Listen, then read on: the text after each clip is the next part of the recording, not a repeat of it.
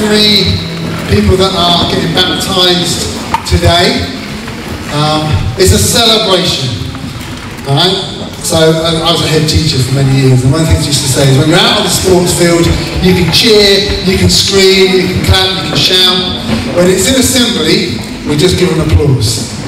I should get mayhem and 600 kids in the hall. So we just applause.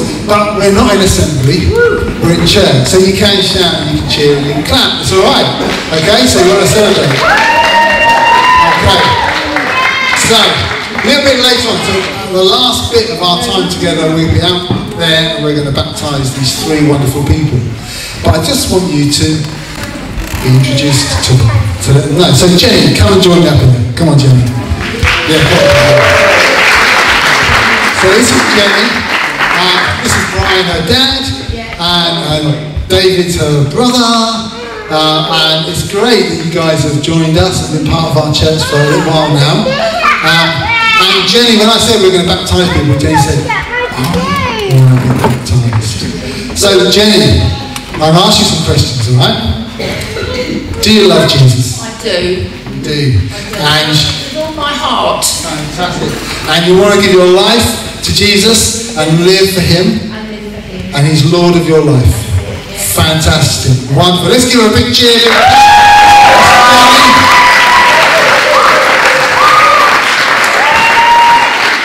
Fantastic. Blake, come on up, you come. Just had his makeover. He's a bit nervous. He's going to be fine. Is Mark, Lee, welcome Mark, Dad's over there somewhere, Jason's there, there's Jason, alright. So Blake, you've got something to read, haven't you? Yeah?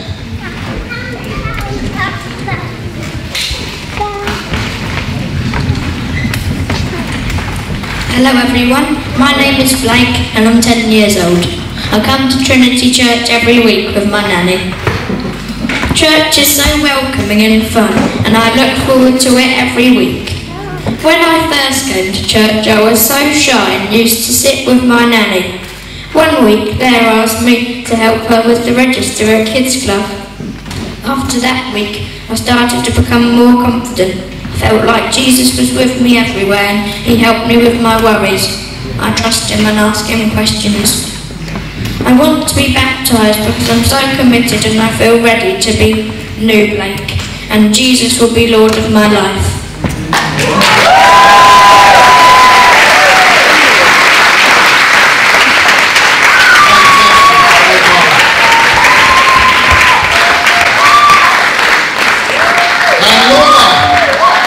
Come on,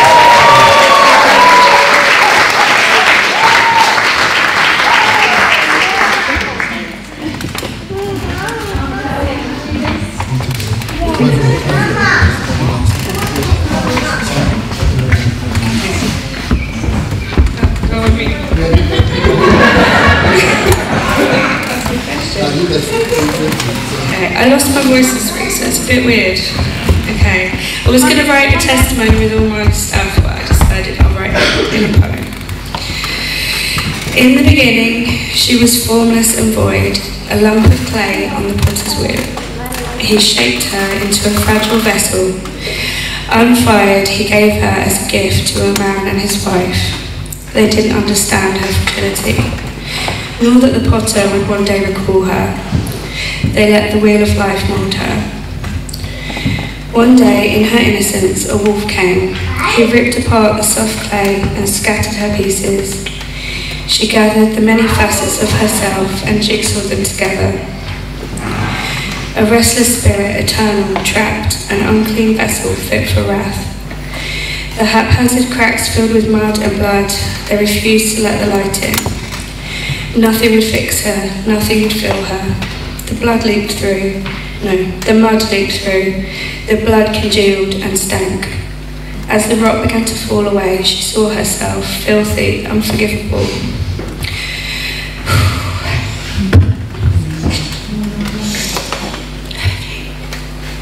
One day, in her wretchedness, a man came. He met her at the door between death and life. Doing great, Laura.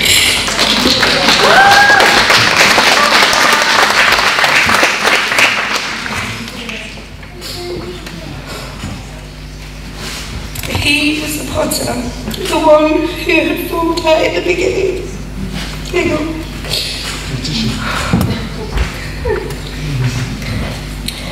In patient distress, he held her in his arms and breathed daughter.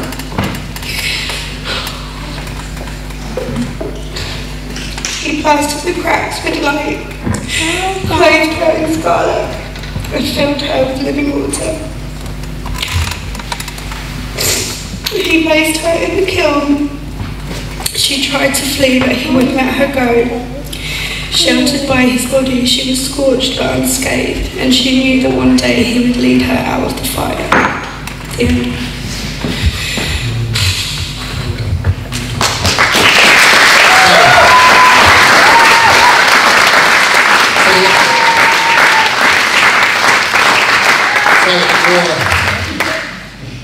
Uh, you want to get baptized? Why today? Because Jesus is Lord of my life, and I love him. Great. Let's give a round of applause.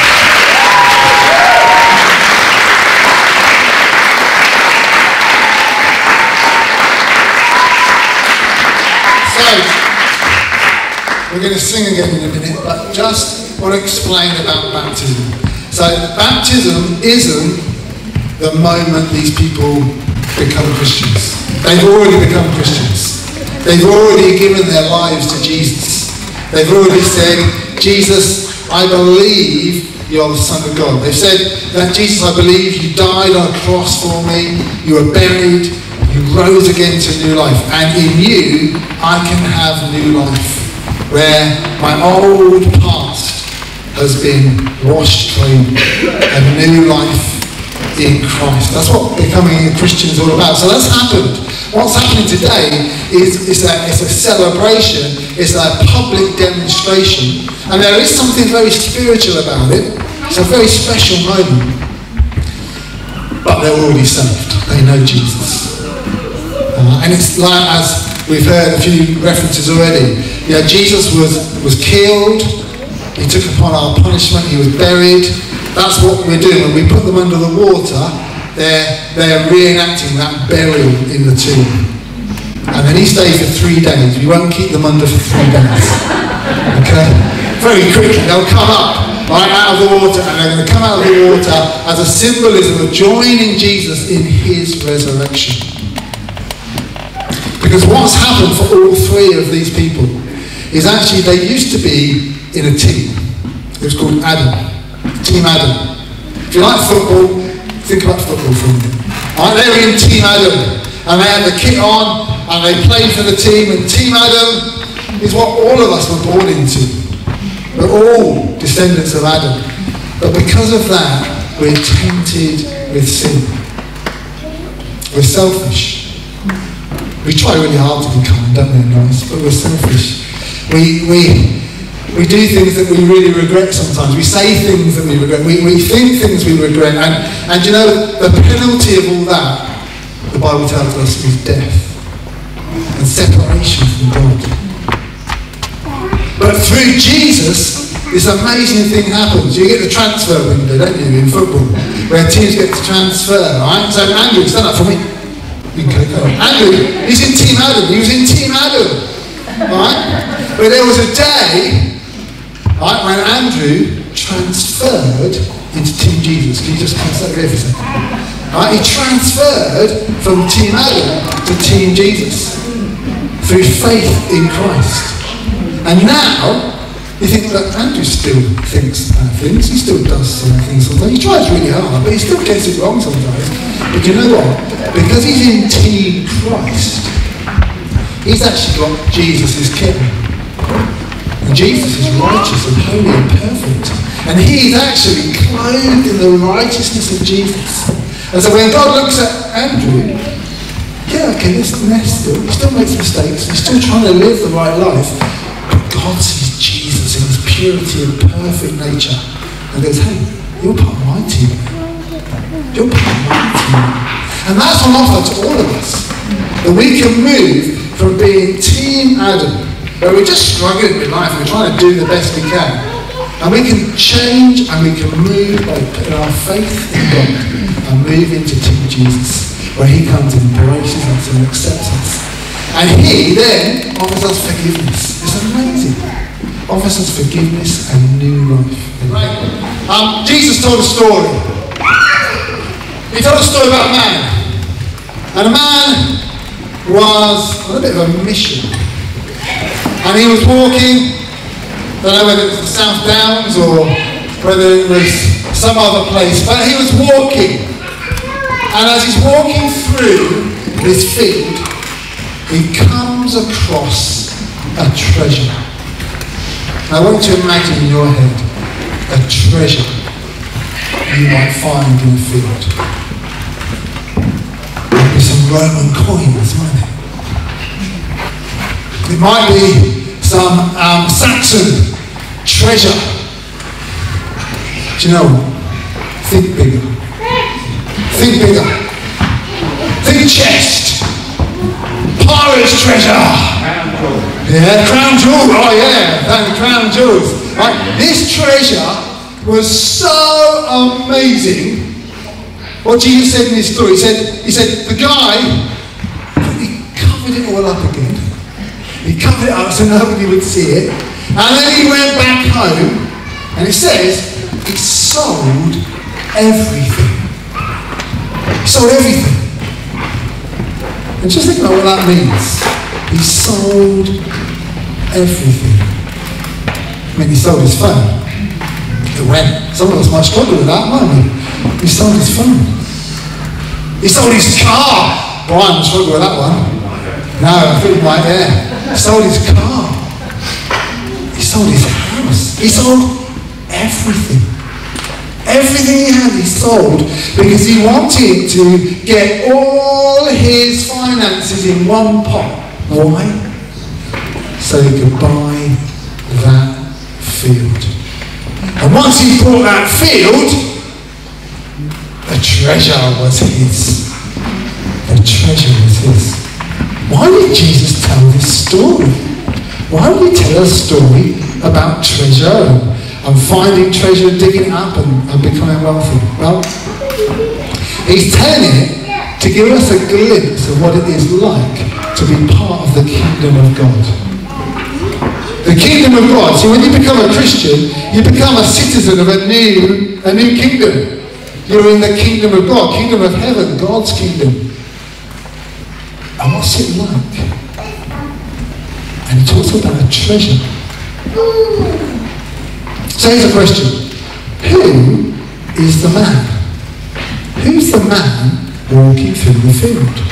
Well, I'm going to tell you. That's Jesus. It's Jesus walking through the field. And Jesus, does he trip over the treasure by accident? No, he says in the Bible, he said he discovered it. He was, he was searching for it. He was looking for it because he knew where the treasure was in that field. And so he was seeking it out. And he finds the treasure. Who's the treasure? It's you. Yeah, it's you. Just turn to the next person next to you and say, You're a treasure. Give him a wink. That's what we do. Go on. Give him a little wink. You're a treasure. You're a treasure. Do you know what? You are far, far more precious. I only said you're a treasure, nothing else. Go on. You are far more precious than a phone. Far more precious than a car. You're far more precious than a house. You're far more precious than the crown jewels to God. You are his treasure. And Jesus finds you. He told another story, he told about sheep, and he said there's one sheep that was left, that was lost, and he left the 99, he goes after the one.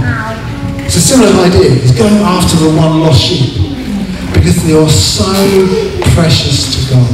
And then Jesus tells everything. Well, if you know the story of Jesus and, and his life, even Adam actually had the clothes he was wearing. What did he give? Well, greater love has no man than to give his life to give his life. So Jesus gave everything, not just possessions. He gave his very life and nailed him to a cross. Because, because of my mess, because of my wrongdoing, because of my, my just kind of unbelief and selfishness, I, I can't have a relationship with God. I can't do it. I, doesn't matter how hard I try. I can try and be the perfect person. I can try and be the perfect son or the perfect husband, the perfect dad. I can try and be the perfect in my job. That doesn't save me. I, I can try and, and, and actually just, you know, give lots away and just be blessing and love people and care for people and do lots of good things. Yeah? That won't save can't save myself. The Bible tells us that we're dead in our mess. We need someone to come and save us. Come and save us. And Jesus gives his life so that I have to pay the penalty of my sin and my mess. And if I put my faith and trust in him, he says, come into my new family. That whole thing of transferring teams. It's an amazing offer. You are a treasure to God that is beyond measure. And God's love for you is so much that he sent Jesus, his own son, to deal with all the mess. So that you not only can have new life and joyful life as a Christian now, but he promises us that death will no longer be the end. And we can have eternity with him forever. And he's going to recreate the earth. And it's going to be this amazing place of beauty and peace. No pain, no sorrow, no tears. And he says, come. I love you that much that I've done everything that needs to be done so that you can come. You can come. But you need to come to him. We were out swimming as a family a few, I don't know, last week or sometime, and it was quite cold, the water. And suddenly my son, uh, Jake, he got cramp. Why am I bringing it up? Because it's a perfect illustration. Right, he's got cramp. When you're out at sea, out of your depth, and you've got cramp, there is nothing you can do. There's so much pain in your legs, are and you just can't swim, you can't do anything. Thankfully, his younger brother was there on hand. They could rescue him and save him. Jake couldn't save himself in that moment. I can't save myself from eternal mess. I need someone to come and save me. And Jesus comes. He's given his life, sold everything to get me the treasure that he possesses. And it's an offer to all of us. If we just turn, all right, we're going this way. If we just turn and go, okay, I'm not going to go my own selfish way. I'm going to follow you, Jesus. I'm going to follow you. I'm going to trust that you are Lord of Lords and King of Kings. And I give my life to follow you. And we do that, do you know what? We don't really have to step. He comes. He comes and he embraces us and he loves us and he invites us to join in his wonderful family, the church. That's on offer to all of us. For those of you that know Jesus already, I hope today is a day that will just rekindle something in you. As you heard the three people just share their story a little bit, it may have just reminded you of your own story, of the day when God came and met with you. Don't keep it a secret. Share it. Share it with others.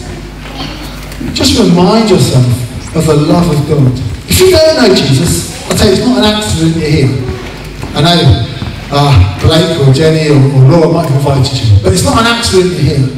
And I want to encourage you. Give it some thought.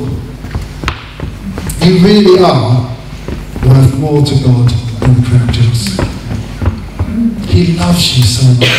And he's saying, come. Come and be part of my family. If you want to find out more, we're going to be running an Alpha course in the autumn. Alpha's a great uh, little uh, few weeks course where you can find out about Christianity and what it is to follow Jesus. Simon and Claire are going to be kind of hosting that. So if you're interested, get in contact with us, right? Chat to Simon and Claire or, or just email the church and we can link you up. Because we'd love you to find out more about this wonderful Jesus. I'm going to pray. And then we're going to make our way outside. I want to explain what we're going to do. So let me pray, and then I'll tell you what we're going to do when we get outside. All right? Father God, we just want to thank you for our time together.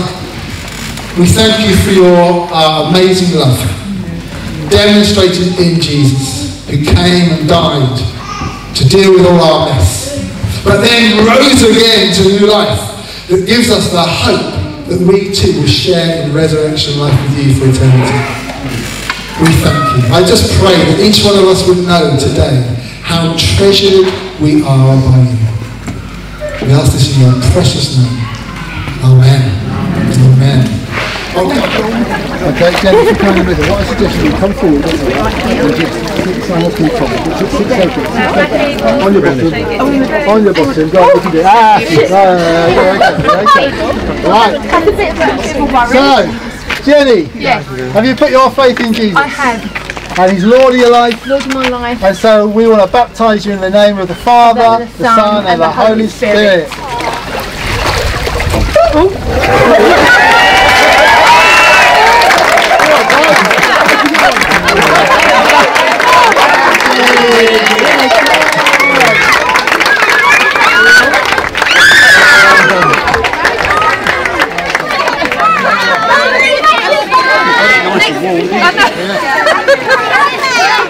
Can I ask some people just to pray with Jenny while we're... Hold on, hold on, hold on.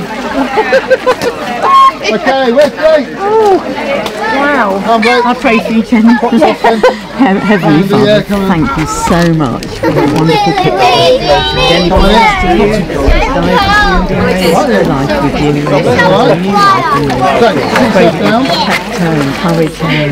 So, her. we know you put your faith in Jesus. Of your life. So we're going to baptise you in the name of the Father, the Son, and the Holy Spirit. Yeah.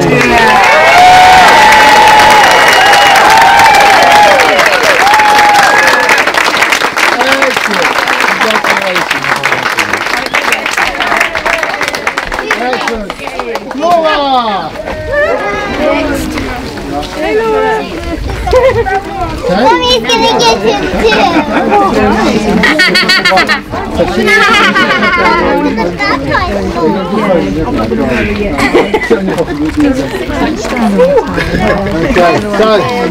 so, you put your faith in Jesus. Yeah. He's Lord of your life. Yeah. So we have pleasure to baptise you in the name of the Father, the Son, and the Holy Spirit. Yeah.